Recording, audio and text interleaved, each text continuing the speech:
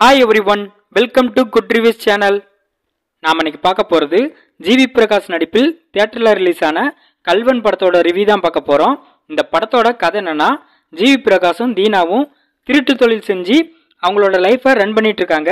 இப்படி இவங்க ஒரு நாள் ஹீரோனி வீட்டுக்கு திருட போகிறாங்க அப்போ ஹீரோ ஹீரோனியை பார்த்துருந்தாரு. அதுலேருந்து ஜிவி பிரகாஷ் ஹீரோனியை லவ் பண்ண ஆரம்பிக்கிறாரு. அந்த சமயத்தில் ஹீரோனி ஹீரோ கிட்ட ஒரு ஹெல்ப் கேட்குறாங்க ஹீரோவும் அவங்களுக்கு ஹெல்ப் பண்ணுறாரு இதுக்கப்புறம் ஹீரோனி ஒரு மெடிக்கல் கேம்ப்காக ஒரு முதியோர் இல்லத்துக்கு போகிறாங்க ஹீரோனியை தேடி ஹீரோவும் அந்த முதியர் இல்லத்துக்கு போகிறாரு போன இடத்துல ஜிவி பிரகாஷ் பாரதி ராஜாவை பார்க்கறாரு பாரதி ராஜாவை தன்னோட சுயநலத்துக்காக ஜிவி பிரகாஷ் தத்தெடுத்து அவரோட வீட்டுக்கு கூட்டு போகிறாரு இதுக்கிடையில் ஜிவி பிரகாஷ் ஃபாரஸ்ட்ல உள்ள ஒரு வேலைக்கு முயற்சி பண்ணிட்டு இருக்காரு. இதுக்கப்புறம் என்ன நடந்துச்சு? ஹீரோவும் ஹீரோனியும் ஒன்று சேர்ந்தாங்களா இல்லையா? ஜி பிரகாஷ் எதுக்காக பாரதி ராஜாவை தத்தெடுத்தாரு?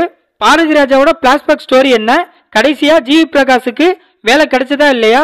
இதுதான் இந்த படத்தோட கதை. இந்த படத்தை பி வி சங்கர் டைரக்ட் பண்ணியிருக்காரு.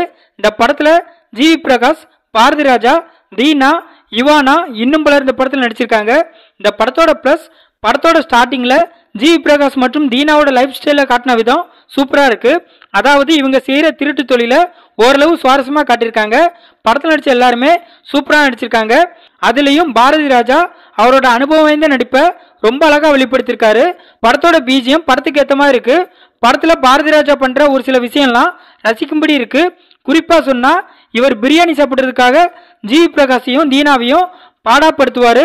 அதெல்லாம் இன்ட்ரெஸ்டிங்காக இருக்குது சினிமாட்டோகிராஃபில அந்த கிராமத்தையும் அந்த கிராமத்தில் உள்ள வனப்பகுதியும் காட்டின விதம் கலர்ஃபுல்லாக இருக்குது இந்த படத்தோட மைனஸ் படத்தோட மிகப்பெரிய மைனஸு படத்தோட ஃபர்ஸ்ட் ஆஃப் தான் படத்தோட ஸ்டார்டிங் சீன்ஸ் நல்லா இருந்தாலும் படம் போக போக அதாவது ஃபர்ஸ்ட் ஆஃப் ஃபுல்லாகவே படத்தோட கதை என்ன படத்தில் இவங்க என்னதான் சொல்ல வராங்கன்னு புரிஞ்சிக்கவே முடியல.